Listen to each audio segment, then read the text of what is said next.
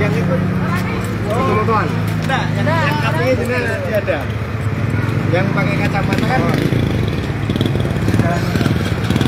Selamat malam Tribuners, bersama saya Tria Wulandari. Inilah update berita terkini yang dilaporkan langsung reporter Tribun Network dari lapangan.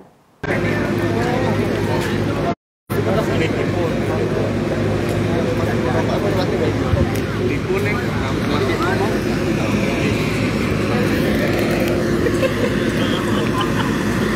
Nah, sih setengah meter kono setengah meter. Eh, tak 30 cm. Selamat siang, selamat sore Tribuners. Saat ini saya sedang berada di Kelurahan Pucang Sawit, tepatnya berada di pinggir Sungai Bengawan Solo. Saat ini eh, kondisi banjir, kondisi di Kelurahan Pucang Sawit masih banjir.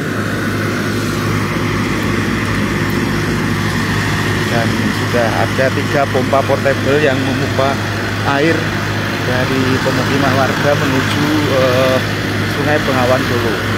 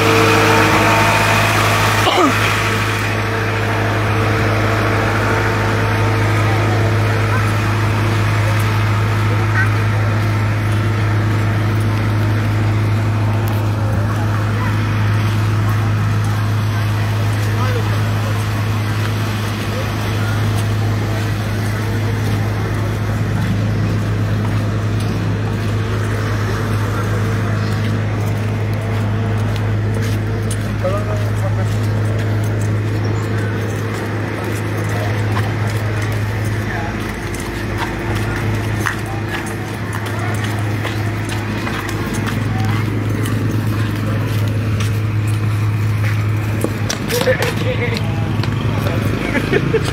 you.